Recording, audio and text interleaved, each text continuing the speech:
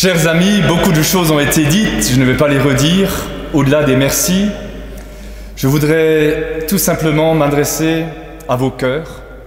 Saint François de Sales, un grand saint, je vous invite à peut-être euh, revisiter sa vie et lire ses écrits, disait Fleuris là où Dieu t'a planté. Eh bien désormais, Dieu m'a planté au milieu de vous. Il y a de belles fleurs à côté de l'ânier, n'est-ce pas Denis? Hein, Les arrangements dans l'ensemble des massifs de nos communes, c'est toujours agréable de voir un village qui accueille à travers la variété des couleurs. Eh bien, ces fleurs, c'est vous, c'est moi, c'est nous tous. Il y a parmi nous de toutes petites pâquerettes, quelques primes verts, autres glaïeuls et grands tournesols. Eh bien, c'est ça la variété du peuple de Dieu. Alors, bien sûr, il n'y a pas de révolution en l'air. L'Église a toujours été en mouvement, comme tu l'as bien rappelé Pascal, et ensemble, à la suite de Jésus, nous voulons avancer. Avancer encore et toujours. Je n'aurai pas assez de mots pour remercier tous ceux et celles qui étaient déjà présents hier soir. Alors si vous voulez me voir d'un peu plus près, hein, j'ai des petits yeux encore, le camion a réussi à passer, un Denis, c'était voilà tout juste, mais on a réussi. Et puis il y a encore toute cette semaine que je dois prendre pour l'emménagement, mais dès le lundi 23, nous aurons l'occasion, voilà, de prendre la charrue en main et d'avancer, de retourner le sillon que Jean-Louis, avec vous et tous nos prédécesseurs, ont déjà labouré. Je voudrais aussi prendre cette belle image du pèlerinage. Tous, nous avons déjà réalisé tel ou tel pèlerinage au Mont Saint-Odile, ou à côté avec nos amis allemands, au Luxembourg, à Orval en Belgique, à Lourdes, des apparitions mariales, etc. Il est vrai que nous pourrions dire Qu'est-ce qu'on doit faire encore? Il y a des réformes au niveau étatique, il y a des réformes euh, sociétales, il y a des réformes dans nos communes, et l'Église s'y met aussi. Mais nous sommes toujours en synode, en cheminement. Ce que je veux dire par là, c'est que, tels des pèlerins, nous sommes invités à avancer, avec toujours au fond du cœur cette parole. Avec toi, Seigneur, et pour toi, Seigneur alors que toutes nos activités soient focalisées sur cet amour de Jésus, comme Pascal l'a rappelé en mémoire de la fête de la croix glorieuse. Et puis, on parlait aussi de jeunes, il y en a quelques-uns parmi nous, il y a les enfants de cœur. J'ai eu l'habitude de travailler avec des jeunes, partout où je suis passé, mon dada a été d'appeler. Et l'appel n'est pas réservé aux seuls prêtres.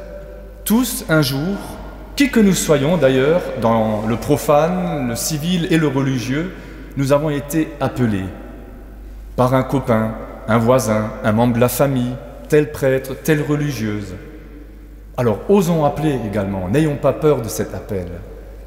Non pas pour dire que on sera plus numériquement parlant, pas du tout, mais de dire avançons avec cette joie de servir, avec cette joie aussi de pouvoir dire, Seigneur, tu as rendu tellement de choses possibles au cours de l'histoire. Ça n'a jamais été facile. Aucun de nous ne serait là ce soir si un de nos ancêtres avait renoncé. Et Dieu sait qu'il y en avait eu des, raisons. Telle épidémie, telle guerre. Chacun aurait pu abdiquer en disant Moi j'en ai trop vu, c'est pas possible. Mais ces gens ont cru en la vie, ils avaient la foi ils ont fait confiance. Alors, osons relever le défi, et je voudrais prendre une parole que tu connais bien, Pascal, une expression de notre Père évêque, dans sa lettre pastorale qu'il avait éditée, il aimait à reprendre cette expression s'entreporter. Alors, il y a l'Agnier, il y a des ponts ici, hein. on va rejoindre une rive et en venant d'une autre rive, s'entreporter.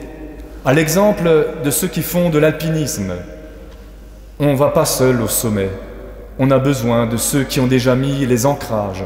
On a besoin de ceux qui tiennent la corde. On a besoin de regarder le dernier ah, qui a du mal de respirer.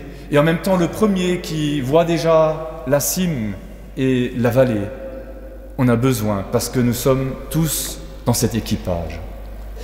Je vais m'arrêter là en disant que tous nous avons été dotés de différents dons et charismes. Alors mettons-les à profit pour que ensemble nous puissions former cette famille, qui que nous soyons, quelles que soient nos origines. On m'avait dit que beaucoup de gens sont actifs ici, mais qui ne sont pas directement originaires du pays de Nier. Mais c'est aussi cela qui fait la richesse. Nous sommes sur un pays de frontières. Aujourd'hui, grâce à Dieu et grâce à l'intelligence des hommes et des femmes, il y a ces passerelles, ces ouvertures, alors qu'il y a encore quelques 80 ans, il y avait des barrages, des murs et autres bruits de canon. Loué sois-tu, Seigneur, vive Dieu, comme le reprend un ancien cantique. Alors, avec vous, chers amis, nous allons faire un bout de chemin qui, je l'espère, dans la joie et la fraternité, laissera de côté des petites querelles de clocher particulières et ensemble, nous voulons redire, c'est possible. Beaucoup de nous, nous avons des manches courtes, alors relevons les manches longues et avançons dans la paix et la joie du ressuscité.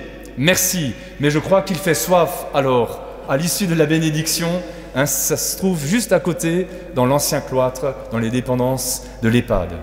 Merci à vous et pour un bon travail ensemble, à la grâce de Dieu.